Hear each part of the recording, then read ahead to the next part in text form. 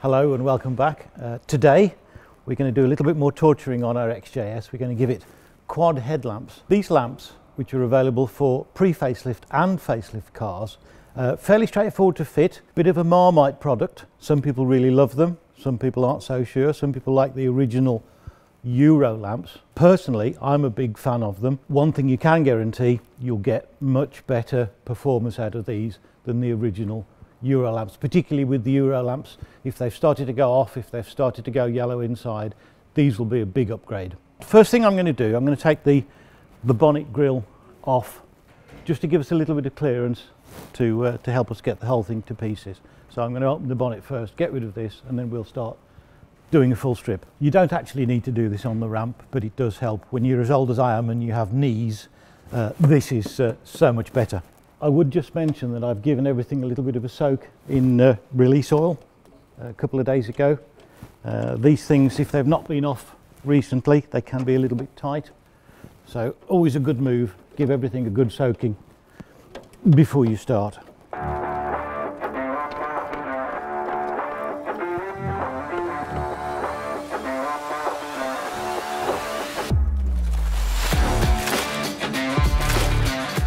That's the grill out of the way. To remove the chrome surround, there are a couple of screws, one hiding under the bonnet and one at the front.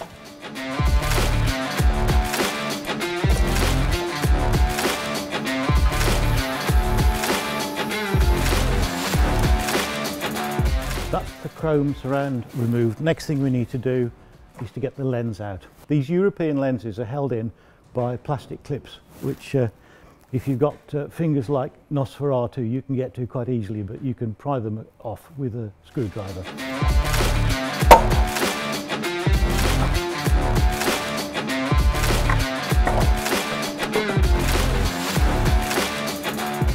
Just remove the electrical connections, and that's the lamp out.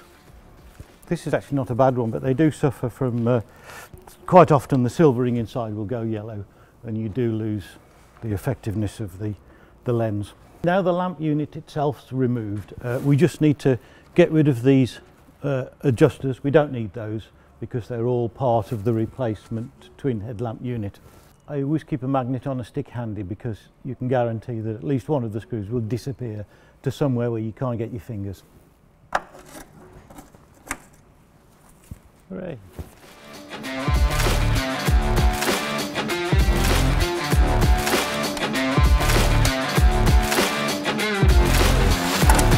So that's everything we need to take off. So now we're going to do the build-up.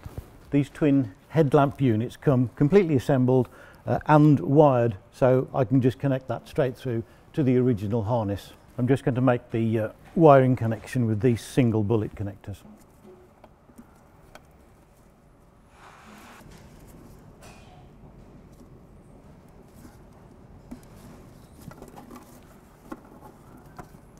Well, that's the wiring done. So, okay, so we're ready to mount this. I've put two screws already on the back plate, so that will just slot in, uh, and it'll give us a, give us a leg up when we come to, to align it. These are quite difficult to get to, so you do need a long Phillips screwdriver to get to them. There's plenty of space behind the lamp for all the cabling, so you can just throw it in.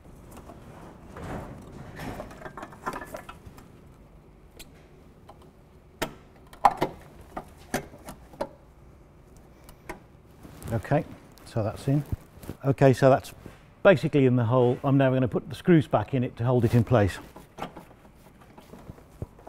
I fitted the four mounting screws to give me just a little bit of wiggle so I can adjust it to suit the chrome finisher. So I'm happy that's all in alignment so I can take the chrome finisher away and tighten the screws.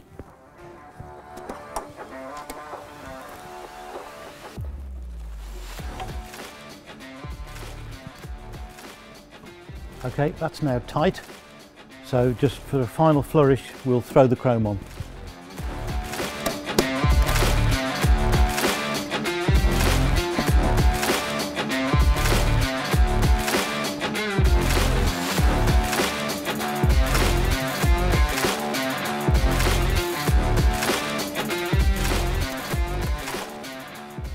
Just a matter of putting the grill back on the bonnet and away you go. Lots of uh, uh, traditionalists prefer the uh, the ovoid European lamps, but um, they were both designed at the same time. It's just that the uh, the oval ones were they were a bit on the limit as far as uh, uh, sort of federal regulations went. So most, if not all, exports to the USA had the quad lamps, had these twin system. So that's one side fitted. Obviously I've got to do the other side as well now. Once they're both in, next thing I need to do is to set them up so that the beams actually point in the right direction when you're on the road. The easiest way to do that is to take it to a local MOT station and let them set it up on their beam tester. So thanks for watching. Don't forget we'll be giving this car away at the NEC Classic Motor Show, which is coming up soon.